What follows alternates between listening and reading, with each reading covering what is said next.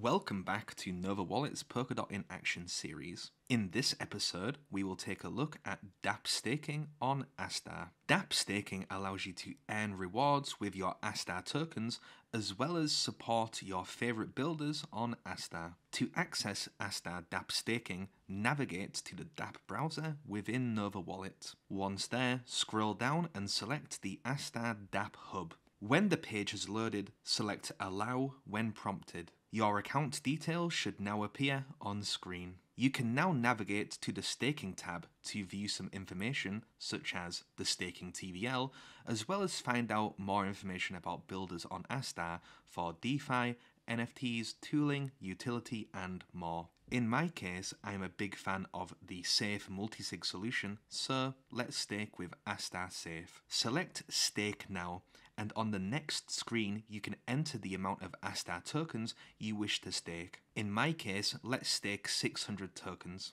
Remember, it is important to leave some tokens unstaked to pay for transaction fees. Once ready, select Confirm. Your tokens are now staked. Staking rewards are earned each era, which on Astar is around 24 hours. It is recommended to claim your rewards at least once per week but a lot of people claim rewards daily. To claim your rewards, head on over to the Astar dApp Hub via the Nova Wallet dApp browser. Select the Staking tab. Scroll down to the My Rewards section. Here we can see that we have one era of rewards which are available to claim. Let's claim these rewards by selecting the Claim button. After the transaction is processed, we can see that I have claimed 0.186 Astar tokens, which I have set to automatically be added to my stake using this option here. After one era has passed, you can freely change the dApp which you are staking with. Simply go to the staking tab of the Astar dApp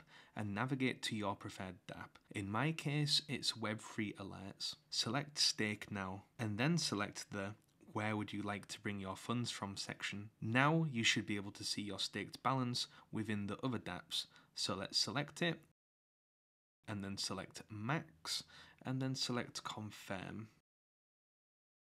We can now go to the My dApp section of the staking module and see that I now have 600 Astar tokens staked with Web3 Alert. Now let's unbond our Astar tokens. In the My Staking section, select the My dApps tab. We can now see the name of the dApp that we were staking with, select it. We can now select to either add to our stake or unbond.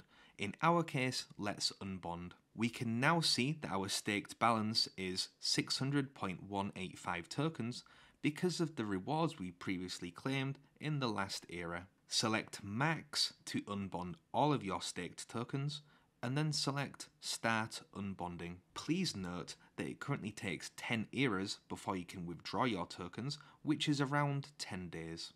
After the unstaking period has expired, you will want to withdraw your tokens. Simply go to the staking module and under the My Staking section, select the Unbonding tab.